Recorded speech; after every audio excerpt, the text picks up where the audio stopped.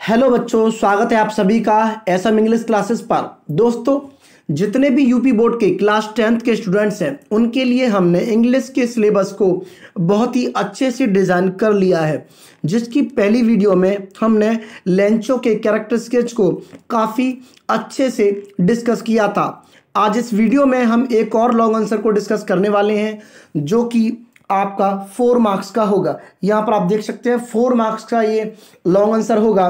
आपको कुछ नहीं करना है, जो मैं बता रहा हूँ, आपको इसी तरीके से, इसी पैटर्न में आपको लिख के आना है और आपके चार नंबर यहाँ से पक्के हो जाते हैं। तो चलिए फ्रेंड्स शुरू करते हैं आज की वीडियो को। देखिए, आज का जो लॉन्ग आंसर है हमारा वो होगा द इंचेंटेड पूल एक चैप्टर है, वहाँ से इस लॉन्ग आंसर को आज हम डिस्कस कर रहे हैं। तो देखिए क्वेश्चन आपसे पूछा जा सकता है। यहाँ पर क्वेश्चन लिखा है give a character sketch of Yudhishthir Yudhishthir का कैरेक्टर स्केच काफ़ी इंपॉर्टेंट है और काफ़ी बार ये रिपीट भी हुआ है। तो ये आप मान के चलिए कि आपका ये क्वेश्चन हंड्रेड परसेंट आने ही वाला है। देखिए, अब आपको आंसर में क्या लिखना है? आंसर में आप सबसे पहले एक इंट्रोडक्शन की एक हेडिंग बनाइए और उसमें आप लिखिए Yudhishthir is the main character of the story the enchanted pool तो युधिष्ठर जो है, एक मेन कैरेक्टर है इस स्टोरी के, और इस स्टोरी का नाम आपको लिख देना है द इंचेंटेड पुल ठीक है? आई होप कि ये पहली हेडलाइन आपको समझ में आ गई होगी। पहली हेडिंग ये आपको समझ में आ गई होगी। बढ़ते हैं आगे। अब देखिए, यहाँ पर हम बात करते हैं सेकेंड हेडिंग की। तो सेकेंड हेडिंग आपको लिखना है एल्डेस्ट ब्रदर आपको पता है सभी भाइयों में सबसे बड़े थे युधिष्ठर। तो एल्डेस्ट ब्रदर के नाम से भी वो जाने जाते हैं। Yudhishthir was the eldest among all the five brothers Yudhishthir जो थे, सबसे बड़े भाई थे among all the five brothers सभी पाँचों भाइयों में। Who had been living in exile exile का मतलब होता है वनवास। जो भी पाँचों भाई वनवास पर वनवास पर थे जो भी पाँचों भाई वनवास पर रह रहे थे, ठीक है? तो उनमें सबसे बड़े जो भाई थे, वो युधिष्ठर ही थे। आगे थर्ड हेडिंग की बात कर लेते हैं। आगे आपको थर्ड हेडिंग बनानी है और आपको ब्लैक पेन से लिख देना है अ लविंग ब्रदर तो अ लविंग ब्रदर में आप क्या लिख सकते हैं? Yudhishthir loved all his brothers unconditionally Yudhishthir loved all his brothers unconditionally Yudhishthir जो थे, अपने सभी भाइयों से अनकंडीशनली प्यार करते थे। कोई भी उनका स्वार्थ नहीं था, बेस्वार्थ, निस्वार्थ वो अपने भाइयों से प्यार करते थे। ही क्राइड लाउडली वह ज़ोर ज़ोर से रोने लगे। When he saw them lying dead जब उन्होंने, यानी कि जब युधिष्ठर ने उनको लाइंग यानी कि पड़े हुए डेड मृत पड़े हुए देखकर, यानी कि वो उनको रोने लगे। He could not bear bear का मतलब है यहाँ पर बेयर का मतलब है यहाँ पर सहन करना। ही कुड नॉट बेयर वो सहन नहीं कर सके देयर सेपरेशन यानी कि जब वो मर गए थे तो सेपरेशन का मतलब है बिछड़ना।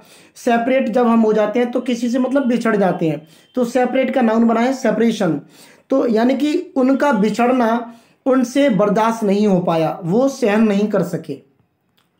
आगे चलते हैं फ्रेंड्स आगे देखते हैं क्या लिखा है। अब देखिए, चौथी हेडिंग आप लिख सकते हैं brave and intelligent brave and intelligent आपको पता ही, युधिष्ठर बहुत बहादुर थे और इंटेलिजेंट भी बहुत थे। तो आप इस हेडिंग में लिख सकते हैं, Yudhishthir was a very intelligent and brave man Yudhishthir जो थे, बहुत ही ज़्यादा बुद्धिमान इंटेलिजेंट और बहादुर व्यक्ति थे। ही वॉज़ सो इंटेलिजेंट सो का मतलब है इतना। ही वॉज़ सो इंटेलिजेंट वह इतने बहादुर थे। डेट डेट का मतलब यहाँ पर की। ही वॉज़ सो इंटेलिजेंट वह इतने बहादुर थे। दैट की। He answered all the questions कि उसने सभी क्वेश्चंस का जवाब दे दिया। आस्ट बाई यक्ष, जो कि यक्ष के द्वारा पूछे गए थे। और आंसर उन्होंने दिया था सेटिस्फैक्ट्रीली सेटिस्फैक्ट्रीली संतोषजनक। यानी कि यक्ष को पूरी संतुष्टि मिल गई थी युधिष्ठर के आंसर से। चलिए, एक और हेडिंग यहाँ पर हम डिस्कस कर लेते हैं। देखिए हेडिंग नंबर यहाँ पर पाँच में आप लिख सकते हैं lover of justice lover of justice यानी कि न्याय के प्रिय। बहुत ही ज़्यादा न्याय उनको पसंद था। किसी के भी खिलाफ वह भेदभाव नहीं करते थे, वह सबको समान मानते थे। तो इसमें आप लिख सकते हैं कि Yudhishthir was a great lover of justice Yudhishthir जो थे, वो बहुत ही ज़्यादा ग्रेट लवर थे, बहुत ज़्यादा बड़े बहुत ज़्यादा लवर थे। किसके? जस्टिस के। न्याय उनको बहुत ज़्यादा पसंद था। न्याय के बहुत ज़्यादा वो प्रिय थे। ही चोज चूज़ की सेकेंड फॉर्म यहाँ पर हमने यूज़ की है। He chose Nakula to be revived इसलिए क्या किया उन्होंने? नकुला को चुना टू बी रिवाइव्ड ज़िंदा किए जाने के लिए। सो दैट सो दैट का मतलब होता है ताकि।